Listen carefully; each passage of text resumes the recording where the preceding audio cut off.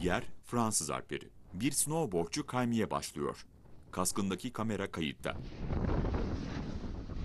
Kaydıkça arkasında yavaştan çığ oluşmaya başlıyor.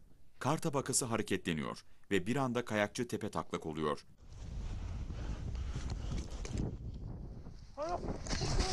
Kamera karla örtülüyor. Neyse ki kısa bir süre sonra hava boşluğu oluşuyor ve kayakçı da çığın altından çıkmayı başarıyor. Karın altında, su altında kalmışçasına boğulma hissi yaşadığını söyleyen kayakçı, kurtulmasını hava yastığına bağladı.